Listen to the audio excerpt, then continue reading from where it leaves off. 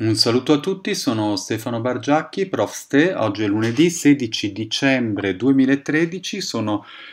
circa le ore 19 e vi devo dare un aggiornamento perché la giornata di oggi che vedete ancora in svolgimento davanti ai vostri occhi ha visto una serie di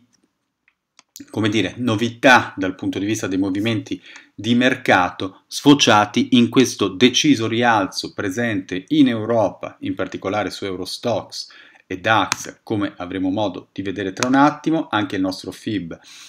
ha visto un buon recupero rispetto alle discese dei giorni scorsi, ma ci sono un pochino di come dire, novità e notazioni da porre rispetto a quelle che sono state le ehm, tematiche che abbiamo analizzato insieme nella videoanalisi settimanale appunto pubblicata venerdì dopo la chiusura. Prima volevo ricordarvi un paio di cose perché si avvicina la fine dell'anno e sicuramente il momento è importante per una serie di bilanci, ma anche e soprattutto per proiettarci nel nuovo anno e iniziarlo, come dire, con il piede giusto. Allora, la prima e cosa più importante è che continueranno i corsi, la didattica gratuita ProfSTE, tantissime iniziative come sempre, e la prima sarà appunto in gennaio e in particolare lunedì 13 per un corso gratuito di una giornata che si terrà a Legnano, potete iscrivervi scrivendo un'email a fxcm L'indirizzo è questo, info-fxcm.it oppure chiamando il numero 0331 88 4001 e in questo modo potrete partecipare a questa giornata didattica gratuita adatta a tutti sicuramente e in particolare a chi mi conosce ancora relativamente poco anche se il consiglio è quello di arrivare minimamente preparati. Il materiale per tutti è sicuramente notevole e disponibile sul sito, il sito fa un pochino da riferimento, chi non mi conoscesse può partire da questa barra laterale, quindi a parte le avvertenze molto importanti, ProfSec per chi inizia, la preparazione di base, cosa serve per apprendere e introdursi al metodo ProfSte, che sicuramente è un metodo avanzato e aiuta più chi è orientato verso la professionalità del trading che non il principiante che ancora deve un pochino, come dire, chiarirsi un pochino i fondamentali di questa materia, tantissimi video didattici, delle vere e proprie lezioni e corsi online gratuiti, il libro che è sempre gratuito, i corsi come appunto quello di gennaio che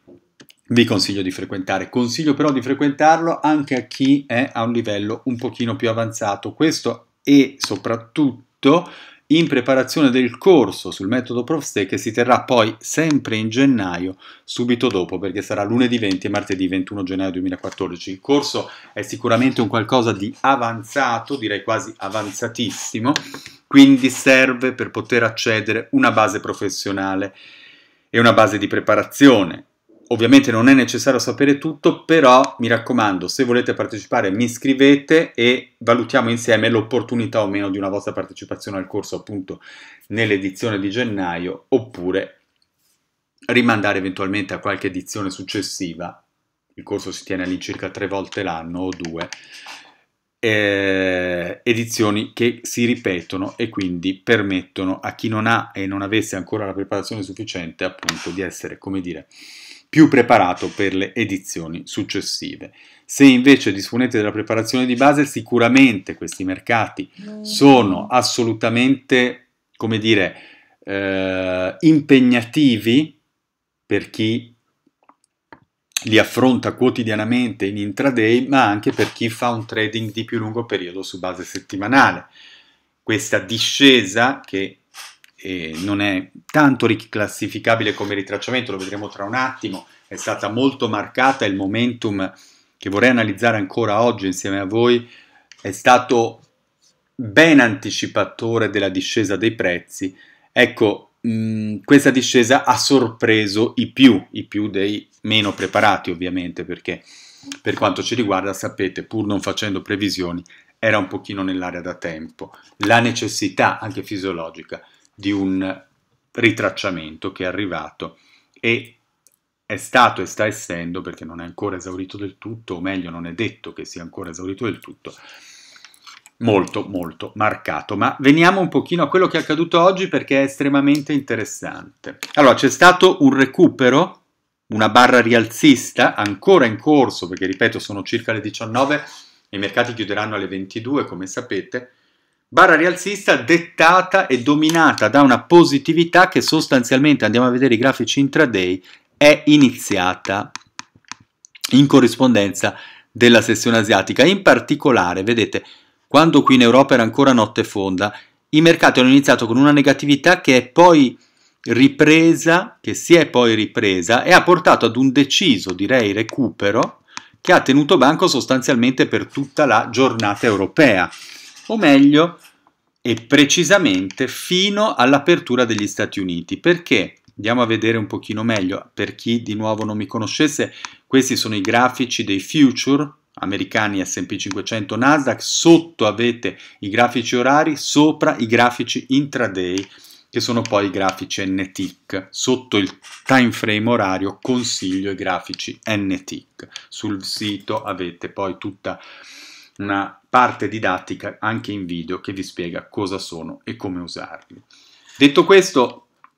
dicevo, la positività è durata poi per tutta la mattinata europea e fino all'apertura di Wall Street, perché guardate, proprio dalle 15.30 in poi ora italiana, è iniziato, queste erano le 15.55, quindi a parte la prima mezz'ora dalle 16 circa, ecco, è iniziata un'incertezza che appunto dalle 16 circa, questa l'apertura, la discesa è iniziata alle 16 circa, ecco dicevo un'incertezza rispetto alla positività che ha portato all'interno di questa giornata, appunto lunedì 16 dicembre, ad un piccolo per ora ritracciamento rispetto appunto alla positività. Lo vedete, questo è accaduto anche in Europa, qui la prima discesa appunto a partire dalle ore 16, dopo che in apertura della, dei mercati americani c'era stata appunto di nuovo un pochino di incertezza. Incertezza in che senso? Nel senso che rispetto alla tanta positività che si era vista fino a quel momento, tutto ci si aspettava meno che, ed è questo il motivo di relativa cautela, che, e sul quale volevo invitarvi appunto a riflettere, dicevo tutto ci si aspettava, meno che all'apertura degli Stati Uniti, che comunque navigano ancora, guardiamo l'S&P 500 in area 1008, quindi in area di massimi storici, in area di massimi di tutti i tempi, ecco dicevo tutto ci si aspettava meno che un'incertezza, sia in apertura e poi ancora e a maggior ragione a partire dalle 16 una forma che abbiamo visto di ritracciamento. Le giornate realmente positive tendono a chiudersi come sul FIB con una chiusura in area massimi, molto vicina ai massimi, cosa che appunto non è avvenuta fino a questo momento in Europa. Vedete che appunto la candela barra giornaliera ha questa parte finale che denota quel ritracciamento appunto che si è innescato a partire dalle 16 e appunto, ripeto, con l'apertura sostanzialmente dei mercati americani. Quindi, e perché questo? Il primo elemento sul quale dobbiamo riflettere, lo abbiamo fatto vedere anche nelle videoanalisi precedenti. Tra l'altro vi ricordo che la videoanalisi di settimana scorsa è ancora valida perché le tematiche restano quelle, quindi quella di oggi vuole essere semplicemente un aggiornamento, ma le tematiche della videoanalisi di eh, venerdì sabato scorso sono ancora in gioco e quindi vi prego eventualmente di ripassarle, la trovate come sempre sul sito e o sulla pagina Facebook. Ehm, dicevo, a parte le tematiche in gioco, l'elemento che ha portato questa incertezza e stupisce da un lato il fatto che sia arrivato proprio quando ha aperto il mercato americano che viaggia, lo ripeto, guardiamo l'S&P 500 ancora in area massimi storici, l'area dei 1008 circa, al momento di parlare vedete a 1784,25, con un Nasdaq anche lui sui livelli massimi in area 3005, quindi sicuramente massimi dell'anno e quant'altro, perché la notizia di settimana scorsa è stata che sostanzialmente gli Stati Uniti si erano, come dire, per la prima volta adeguati alla negatività europea laddove fino a quel momento vedete la differenza fra la discesa europea e quella statunitense che rimane ancora molto modesta per quanto riguarda gli, Stati Uniti, ecco dicevo fino a quel momento la eh, discesa eh, delle, degli Stati Uniti era ancora relativamente bassa e lo è tuttora, però, e si è visto bene oggi, quelle componenti di incertezza hanno in qualche modo intaccato la positività statunitense, anche se ripeto le discese sono ancora relativamente basse e questo è sicuramente un elemento che deve portare alla cautela e deve portare a qualche riflessione rispetto a quello che sta succedendo. Perché? Perché sappiamo bene che gli elementi della crisi sono purtroppo prevalentemente europei. L'Europa ha iniziato a ritracciare molto prima degli Stati Uniti, ripeto, negli Stati Uniti quasi non si può ancora adesso parlare di ritracciamento, in Europa poi il nostro FIB a sua volta ha sottoperformato per primo e quasi preannunciato la discesa appunto delle ultime due settimane sostanzialmente. E quindi chiaramente gli Stati Uniti erano quelli e sono stati per tantissimo tempo e sono ancora quelli che con la loro positività sostengono in qualche modo i mercati. Il fatto che proprio oggi, lunedì 16 dicembre, a una smaccata positività europea sia corrisposta, diciamo così, una ancora lieve per l'amor di Dio perché la giornata ha il segno positivo, ma incertezza nei mercati statunitensi, in particolare appunto S&P e Nasdaq, ecco questo deve assolutamente evitare la cautela perché, lo ripeto ancora, una giornata realmente positiva è una giornata dove, positiva realmente nel senso senza incertezza alcuna, dove si chiude in zona massimi e oggi sembrava proprio che, se tu guardi il grafico intraday fosse una di quelle giornate che si possono definire quasi trend day a un'unica direzione, con chiusura vicino ai massimi. Anche al momento di parlare vedete che la pausa pranzo americana, ricordiamo, finisce proprio alle 19, non c'è un'intenzione, come dire, realmente positiva, anche se chiaramente poi il netto della giornata è positivo e i mercati viaggiano ancora con una positività nominale che, ripeto, è meno visibile guardando e analizzando i grafici intraday. Il motivo di questa, lasciando perdere le varie notizie, vi dico la verità, non le ho ancora guardate, ho semplicemente seguito quello che accadeva sui mercati, è proprio il momentum, cioè a dire, se voi guardate il momentum, la lettura del momentum è chiaramente un uno dei temi più avanzati e più complessi, forse insieme al tape reading del metodo Profste. Ci vuole un pochino di tempo per assimilarlo, ma abbiate pazienza perché l'apprendimento di questo concetto, la lettura del momento, è una delle cose più remunerative che sulle quali possiate realmente investire la vostra conoscenza, il vostro sapere, quindi vale veramente la pena. Il momentum ci aveva ben annunciato che le discese sarebbero continuate perché il momentum precede i prezzi e al momento di parlare è ancora, anche se in rallentamento, verso il basso. Quindi vedete che l'ampiezza degli swing verso il basso, guardiamolo anche sul DAX, per ora prevale l'ampiezza degli swing verso l'alto, quindi la direzione del momentum è ancora, ripeto, verso il basso. Potrebbe, è vero, esserci un'inversione del momentum, ma questa richiede un pochino di tempo e richiederebbe che gli swing in positivo, gli swing rialzisti, eccedessero in qualche modo sia i precedenti swing rialzisti sia quelli ribassisti. Cosa che, ripeto, anche oggi non è ancora avvenuta perché per quanto portentoso il recupero di oggi, lunedì 16, non è stato in grado di recuperare quello che nelle giornate precedenti era stato lo swing ribassista. Questo né sull'Eurostox né sul DAX né sul FIB che in qualche modo aveva segnalato il recupero di oggi perché con la divergenza di cui parlavamo ancora venerdì sabato nella videoanalisi settimanale, non aveva ancora confermato il fatto che invece DAX e Stocks avessero fatto segnare nuovi minimi. Quindi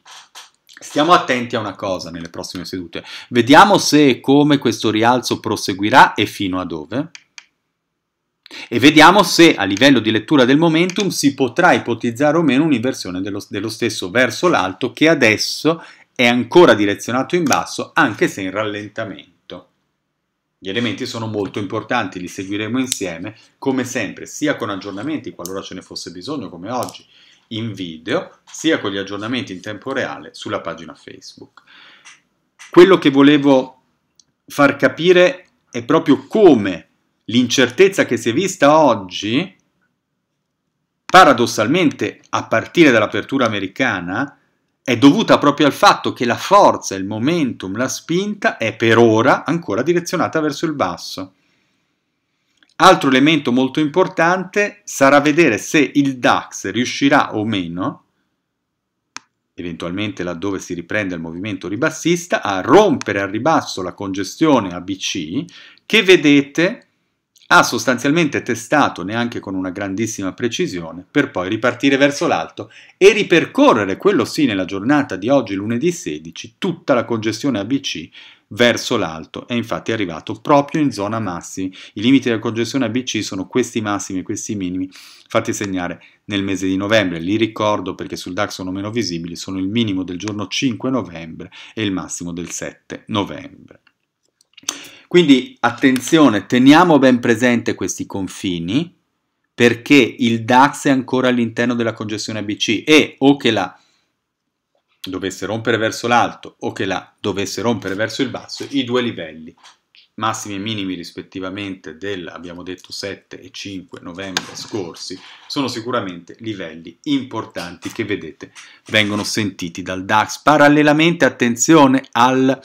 Eurostox 50 perché i minimi della congestione sono qui, oggi li ha in qualche modo sfiorati, poco al di sotto del livello anche soglia psicologica, ormai lo sappiamo, dei 3000, quindi attenzione perché se il DAX dovesse rompere al rialzo la congestione ABC, è chiaro che dovremmo avere una conferma dell'Eurostox perlomeno con un rientro nella congestione stessa. Al ribasso e dovesse riprendere il movimento, attenzione a questo livello dei minimo di oggi, venerdì e giovedì scorso che magicamente si è andato a portare sullo stesso livello dei 2914, che per forza di cose sono un livello assolutamente importante. E poco sotto, attenzione alla chiusura gap, il gap è quello del 10 ottobre scorso, si chiude quando e se verrà battuto il livello di chiusura del 9 di ottobre 2901, laddove i minimi del giorno 10 sono stati segnati a 2908 e i minimi di questi giorni a 2914, quindi per pochi tick, da 2914, 2908 a 2901, quel gap che può fare da ottimo riferimento sull'Eurostox è ancora aperto, è ancora da considerare aperto. Ovviamente anche il DAX dovesse rompere i minimi di questa congestione, ha subito questo gap che è quello dello eh, scusatemi, non è lo stesso giorno del 24 di ottobre come riferimento e livello di chiusura abbiamo gli 8920.5 chiusura del giorno 23. Quindi i riferimenti e i gap aperti sotto sono diversi e molteplici ogni volta, lo sappiamo, ci danno dei precisi riferimenti per giudicare quello che sta accadendo. Quindi di nuovo concentrandoci sui mercati europei, bisognerà vedere se e come il DAX vorrà uscire dalla congestione ABC compresa fra massimi e minimi del 7 e 5 novembre scorso. Eventualmente vedere se l'Eurostox vorrà rientrare nella congestione stessa rompendo al rialzo questi minimi e rientrando nella stessa, oppure in caso di proseguimento dei ribassi, laddove lo, il DAX rompesse i minimi della congestione ABC, c'è subito questo gap da riempire sullo Stocks e questo gap da riempire sullo, sul DAX e il modo come se verranno colmati sicuramente ci darà ulteriori indicazioni. Ecco, sul mercato e per quanto riguarda il mercato americano, chiaramente è ancora presto per parlare di negatività, questo è assolutamente ovvio, sono meri ritracciamenti, ma gli indici Nasdaq e S&P 500 viaggiano ancora in zona massimi, quindi quello su cui ho voluto richiamare la vostra attenzione è principalmente il fatto quasi ironico che in una giornata come quella di oggi la poca incertezza rispetto alla positività è venuta proprio dagli Stati Uniti che per mesi hanno fatto altro che trainare verso l'alto tutti i mercati. Ecco, come vedete tutte le tematiche sono in parte complesse, richiedono sicuramente una preparazione e un'attenzione non comuni. Quello che vi chiedo è quindi di approfittare delle vacanze natalizie per eventualmente dedicarvi anche nel tempo libero ad approfondire un pochino di studio. Va benissimo riposarsi ed è doveroso, però potete approfittarne se avrete un pochino di tempo grazie alle vacanze per approfondire un pochino le tematiche teoriche e poi subito dopo e proprio per quello venite al corso gratuito che è il 14, scusatemi, lunedì 13 gennaio e vi farà in qualche modo iniziare l'anno col piede giusto e con una maggior cognizione e consapevolezza di quello che serve per interpretare appunto questo mercato, questi mercati che sono sicuramente in parte complessi, nulla di difficile realmente perché la metodologia consente di avere sempre in modo oggettivo il metro per giudicare quello che sta accadendo. Ecco, dicevo però appunto che richiedono sicuramente una buona preparazione teorica e di base. Di nuovo grazie a tutti, quindi appuntamento sulla pagina Facebook Profste per quanto riguarda gli aggiornamenti quotidiani in tempo reale. Tra l'altro martedì quindi domani c'è anche l'appuntamento con diretta con le pillole di borsa, il doppio appuntamento video live, uno alle 10 di mattina, uno alle 18.30 che potrete se volete seguire appunto in diretta streaming. Se ci sarà bisogno farò anche degli aggiornamenti di questa videoanalisi settimanale e poi appunto per iscritto gli aggiornamenti giorno per giorno e come sempre sulla pagina Facebook. Vi ringrazio perché in questi giorni tanti di voi mi stanno scrivendo e comunicandomi come dire, un senso di gratitudine, ma come sempre sono anch'io che devo ringraziare voi per il lavoro svolto e soprattutto per gli strumenti dei quali disponete grazie alla metodologia e che vi permettono appunto di navigare queste acque che non sono sempre così calme, tranquille e quant'altro. Di nuovo quindi grazie a tutti e a presto.